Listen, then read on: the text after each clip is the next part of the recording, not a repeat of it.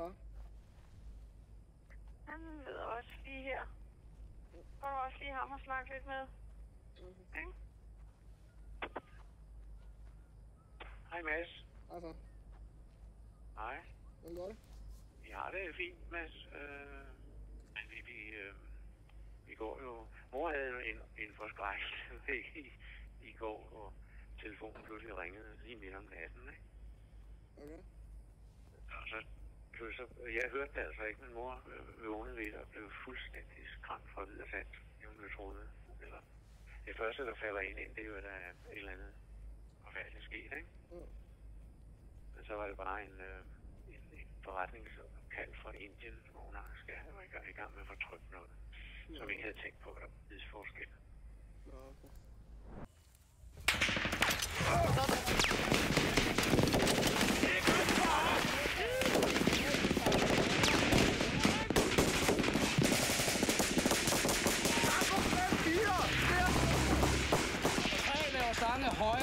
tilbage ind i hegnet.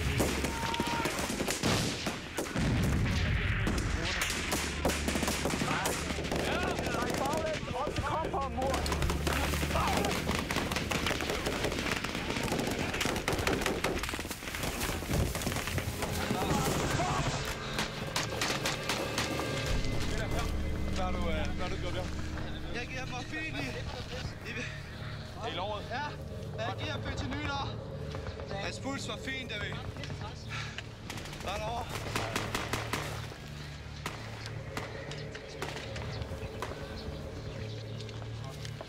Må jeg få noget at drikke?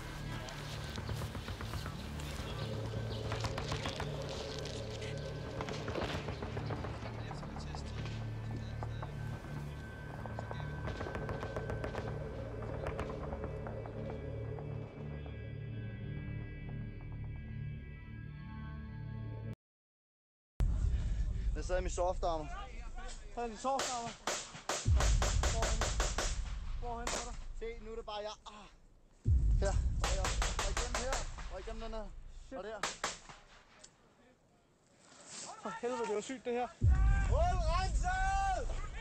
Fucking svin, mand!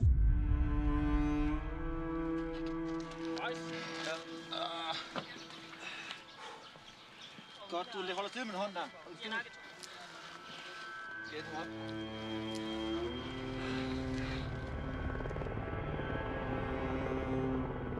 Jeg prøver at holde den lidt oppe af. 30 sekunder.